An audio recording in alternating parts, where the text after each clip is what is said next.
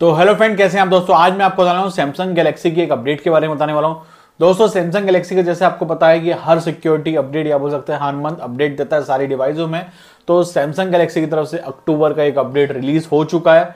जो कि रिलीज़ हुआ है अपकमिंग जो अभी नया हैंडसेट आया अपकमिंग अभी जो नया हैंडसेट रिलीज़ हुआ है, उसके अंदर सबसे पहला अपडेट यहाँ पर अलाउड कर दिया गया तो आप सबको पता होगा, अभी रिसेंटली सैमसंग गैलेक्सी ने S twenty four F E को लॉन्च किया गया है, जिसका अंदर अपडेट आज के दिन रोल आउट कर दिया गया या बोल सकते हैं, कल एक अपडेट को रोल आउट कर दिया गया एस ट्वेंटी फोर एफ़ के अंदर, जिसके अंदर आपको अक्टूबर का सिक्योरिटी उसके अंदर वहाँ पर एड ऑन कर दिया गया तो अब उसका मतलब यह है कि धीरे धीरे सैमसंग गैलेक्सी के सारे जो डिवाइसेस हैं, सब में ही अपडेट रोल आउट होना चालू हो जाएगा। तो सबसे पहले एस ट्वेंटी फोर सीरीज़ में आएगा।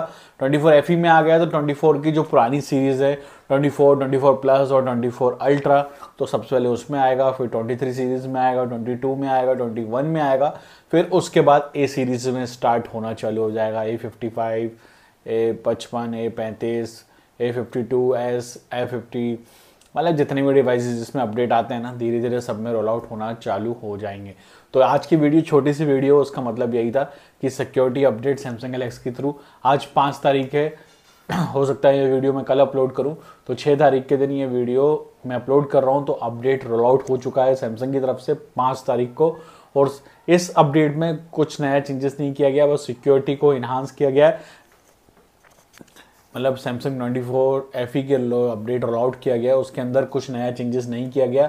उसके अंदर सिक्योरिटी का जो मंथ है ना, अक्टूबर की सिक्योरिटी को अपडेट किया गया, कुछ इनहांस जो भी फीचर्स होते हैं उसको एड ऑन किया गया सिक्योरिटी को इम्प्रूव किया गया, उसके अलावा वहाँ पर कुछ भी नहीं किया गया। बस एक छोटा सा अपडेट था। उम्मीद है कि आपको मेरी वीडियो पसंद आई होगी। ऐसी नई अपडेट्स के लिए चैनल को सब्सक्राइब करना। थैंक यू सो मच और वीडियो को शेयर और कमेंट करके ज़रूर बताना कि आपको मेरी वीडियो कैसी लगी। Thank you so much